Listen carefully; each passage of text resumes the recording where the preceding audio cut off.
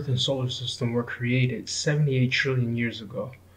As soon as our Earth was ready, 144,000 ancestors came from another star system, the star system Sirius, that was worshipped by the ancient Egyptians. They inhabited the Earth after preparing it by seeding it with plant and animal life.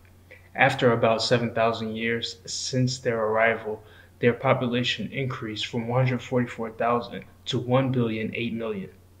This number, 1 billion 8 million, is the most sacred number in creation. It is the total number of original people who inhabited the first earth of our universe countless trillions of years ago.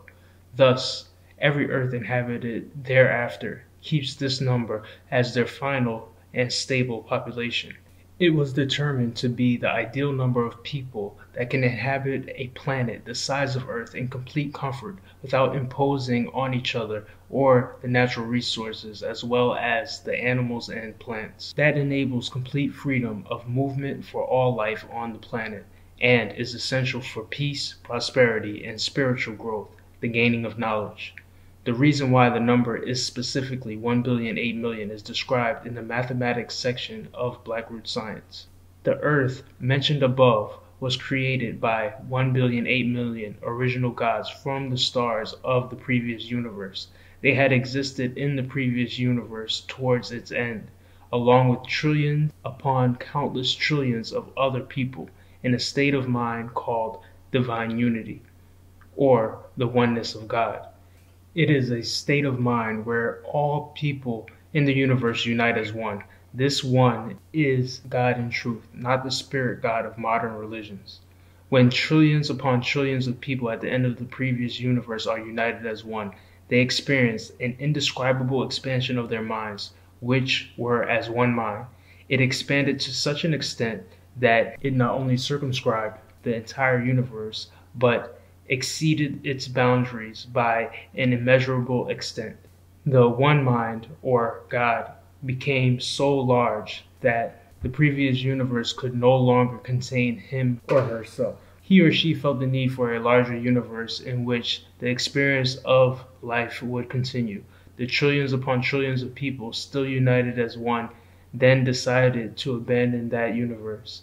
They consciously left their perfected bodies and rose in mind far above the universe. They then locked down on it and saw it as a small sphere, the way Earth looks when seeing it from high above in space. Now, the mind is always attached to a body. There's no such thing as a mind without a body, as so called spiritualists would like you to believe. The mind can extend beyond the outer reaches of space, even expand infinitely, but a magnetic attraction always attaches it to a physical body. The magnetic attraction dissipates at death, and the mind and individual personality or soul then ascends. I will discuss ascension at a later time. The unified mind of the people who were as one person was so immense that the stars appeared to be the size of atoms. As this person was contemplating the universal sphere, he or she saw that it was adequate for habitation of a new earth, with all the stars being its atoms. He or she made 1 billion 8 million new bodies corresponding to the size of the new earth. Using some of its substance, the stars and atoms, then he or she disconnected the magnetic connection to the old bodies and left them in the old universe. The 1 billion 8 million gods then descended upon the new earth into the new bodies and became its first inhabitants. The matter of every star and planet in the universe is created in seven forms. In modern words, these are magnetism, electricity, light, ether, gas, liquids, and solids. The fourth substance, ether, is the central supporting substance of the other six. It is the womb of creation called space. It is black in color, as one can see by looking out into space at night. This absolute blackness called space not only supports the other substances, but it also gives individual color to all objects because the color black contains all other colors in itself. Hence, when the 1 billion 8 million original gods made themselves new bodies, they covered them in skin whose color is black, getting it directly from the ether. Because the gods create all plants and animals from their own bodies, they need to have all colors stored in a single color in their creative germ, which is called the dark dominant germ or gene, the source of what modern people call melanin. Upon arriving on the first earth, the one mind, God, incarnated instantly in 1 billion 8 million bodies, as already said. Half of them, 504 million, were female, and the other half were male. Each pair of male and female gods were soulmates. They always create in soulmate pairs, even when in large groups, because all creation has a male and female, or negative and positive principle. Negative is not used in a derogatory sense, but as a complement to positive. The 1 billion 8 million original people then proceeded to instantly create perfect plants and animals called the original totems, from which all evolutionary life forms evolved.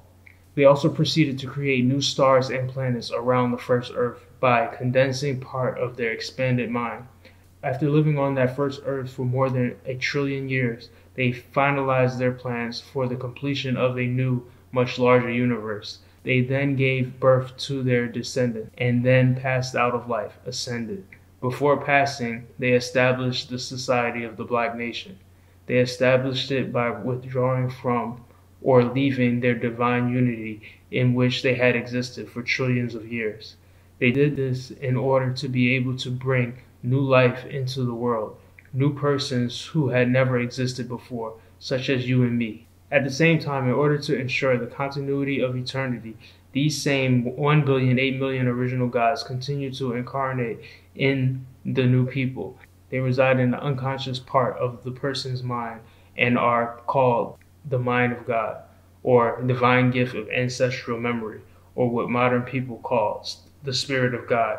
Thus, every black person, even though he or she is born brand new, is simultaneously one of the 1 billion 8 million original gods. Only the personality is new. The spirit is old, even eternal. The 1 billion 8 million original people all withdrew from divine unity except 24 people, 12 men and 12 women. They became the kings and queens called the 24 elders, who are really 12 gods or 12 soulmate couples. The 24 elders are called the custodians of divine unity. The 12 gods chose 12 assistants each and called them 144 chiefs. The gods divided the population into 12 tribes of 84 million people. They further divided each tribe into six clans and set two chiefs, a man and a woman, as the heads of each clan. The chiefs chose 1,000 people each and called them the 144,000 judges. They sent them in soulmate pairs all over the earth to set the foundations for the 72,000 cities. Each couple took about 14,000 people with them to establish their city. This was the basic organization of the Black Nation established by the original gods on the first earth. When other earths were completed and settlers sent to them, this organization was repeated and remains as the divine form of kingdom slash queendom on every inhabited earth throughout the universe. The original gods also established seven great rituals of initiation to be used by leaders to elevate all new people to divine unity. God's purpose for creating universe after universe is to increase him or herself. Every person who completes the seven great rituals becomes full God, exactly like the original people. At that moment of completion, God rediscovers him or herself anew, as if he or she had never existed before. This is how God renews him or herself thus overcoming the stagnancy that would be the case in an eternally all knowing being who never changes. In addition to the seven great rituals, the original people also established many other rituals and customs covering every area of science and life. They then initiated the leaders of their descendants into this knowledge before passing. Their initiation rituals have been faithfully transmitted from generation to generation since the beginning. On our earth, this form of divine rule existed uninterrupted for 78 trillion years until 6,000 years ago when a certain God decided it was time for all the other gods, you and me, to experience that part of us contained in what is called the non creative recessive light germ.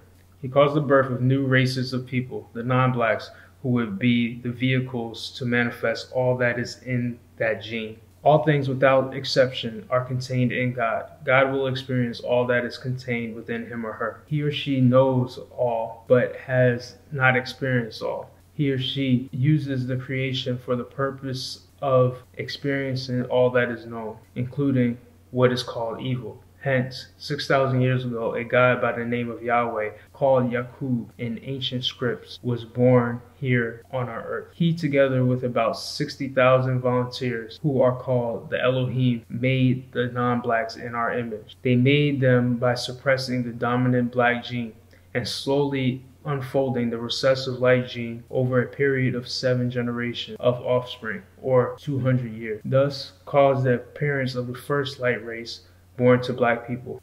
After another 200 years of deliberate and careful breeding, they caused the second light race to appear out of the first. Then, 200 years later, the third race appeared, and finally, 66 years after the appearance of the third race, yellow race, the fourth race, Caucasians, appeared. These 60,000 people, Yahweh and the Elohim, thus initiated the modern age and the process that would eventually bring our divine kingdom to a temporary end. In brief, this is the sacred history leading from the first earth to our earth and to the present situation or cycle called evil, which was preordained to last 6,000 years.